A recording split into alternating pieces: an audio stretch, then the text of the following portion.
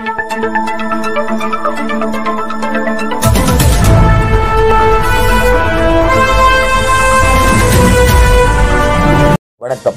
செய்திகள் வாசிப்பவர் செல்வம். கழிவுநீர் கால்வாய் சீரமைக்கும் பணி தீவிரம் ஓசூர் மேயர் நேரடியாக பார்வையிட்டு விரைந்து முடிக்க உத்தரவு. கிருஷ்ணகிரி மாவட்டம் ஓசூர் தாலுகா அலுவலக சாலையில் கழிவுநீர் கால்வாய்கள் சீரமைக்கும் பணியை ஓசூர் மாநகராட்சி மேயர் எஸ் ஏ சத்யா அவர்கள் நேரடியாக பார்வையிட்டார். ஓசூர் தாலுகா அலுவலக சாலையில் சரிவர கழிவுநீர் கால்வாய்கள் இல்லாததால் மழைநீரில் சாலையில் ஆறாக ஓடுகிறது. தாழ்வான பகுதியில் கழிவுநீர் தேங்கி நிற்கின்றது. இதனால் பொதுமக்கள் சிரமப்படுவதாகவும் இருசக்கர வாகனம் ஓட்டிகள் ஆட்டோ ஓட்டுநர்கள் நடைப்பயணிகள் பஸ் நிலையத்திற்கு செல்லும் பயணிகள் மிகவும் சிரமமடைவதாக பொதுமக்கள் தெரிவித்திருந்தனர். இதனால் அந்த பகுதியில் கழிவுநீர் கால்வாய் உடனடியாக சீரமைக்க வேண்டும் என பொதுமக்கள் கோரிக்கை விடுத்திருந்த இந்த நிலையில் ஓசூர் மாநகர மேயர் எஸ் ஏ சத்யா அவர்கள் பாகலூர் சாலையில் உள்ள கழிவுநீர் கால்வாய்களை உடனடியாக சீரமைக்க வேண்டும் என உத்தரவிட்டது நடைபெற்றது.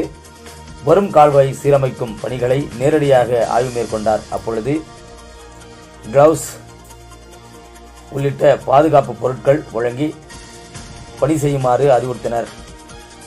தொடர்ந்து மழை பெய்து வருவதால் கழிவுநீர் கால்வாயிலிருந்து அகற்றப்படப்பட்ட உள்ள மனை உடனடியாக அப்புறப்படுத்துமாறு மேயர் கூறினார். மீண்டும் பொதுமக்களுக்கு சிரமமில்லாதவாறு கழிவுநீர் கால்வாய் சீரமைத்திடுமாறு உத்தரவிட்டார். இதனால் ஆணையர் பாலசுப்ரமணியம் துணை மேயர் ஆனந்தையா மண்டல தலைவர் ரவி கவுன்சிலர் மல்லிகா தேவராஜ் கிரண் மஞ்சு உள்ளிட்ட பலர் உடன் இருந்தனர் செய்தியாளர் செல்வமுடன் ராமச்சந்திரன்.